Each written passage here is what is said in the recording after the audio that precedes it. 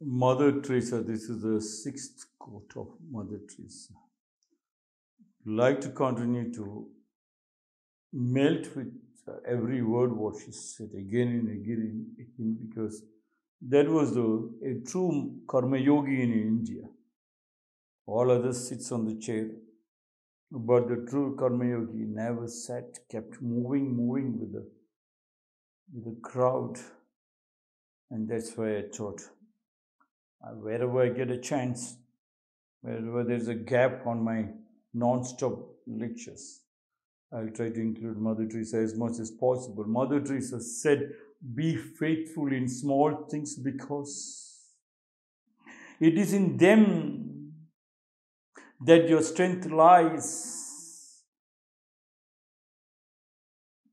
When she said it is in small things, she herself was explaining when she was walking on the streets of Calcutta.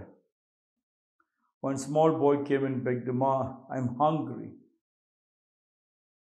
She digged her hand into her bag and pulled out a bun and she gave to that small boy.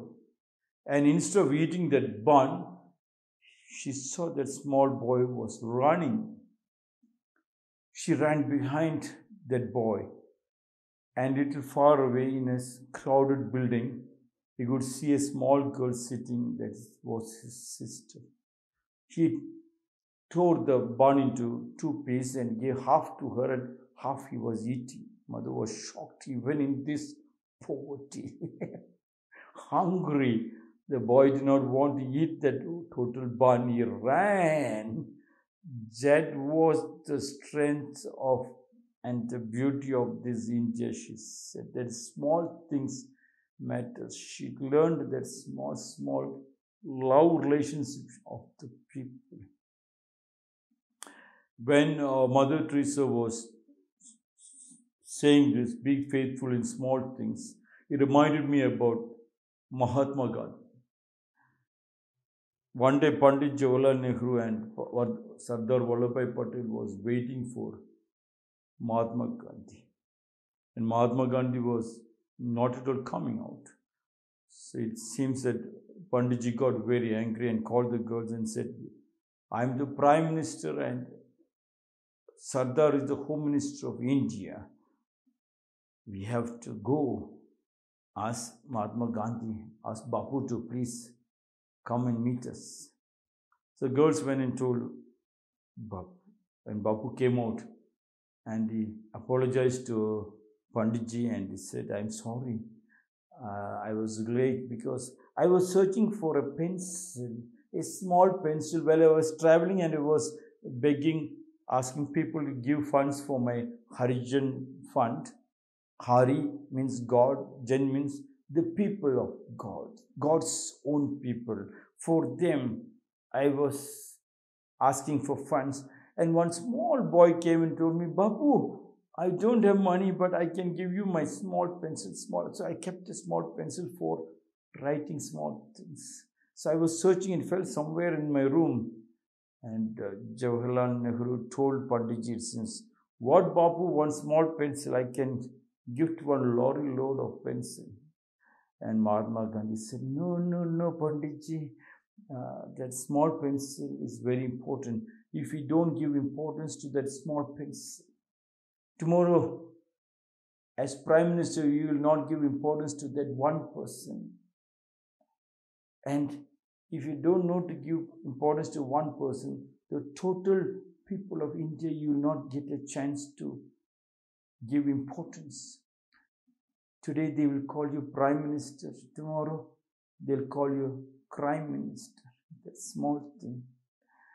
Yes, Mother Teresa said, Be faithful in small things because it is in them that your strength lies. When this was said, I was recollecting the Zen master, the foot of the mountain. The robber entered the Zen master's hut. First of all, there was nothing in the hut. There won't be anything in the hut. Zen masters don't keep anything in the hut. And Zen master was taking birth when he came out. When he was coming towards his hut, he saw one robber running with his belongings. Zen master clapped and he told the robber, seems, stop. And the robber was shocked because the stop sound was like the thunder. Robber freezed. He turned around and looked, and he saw the Zen master with a small towel. And it seems the Zen master removed the towel. And the robber looked at the Zen master, naked Zen master. And the Zen master said, Please take this towel. This is my last thing I had in my hut. Who knows? You might need it tomorrow. You might come back for this one. And it seems the robber, in a shock, he got multiple satoris and he became enlightened. He became one of the greatest teachers of the land. Small thing matters.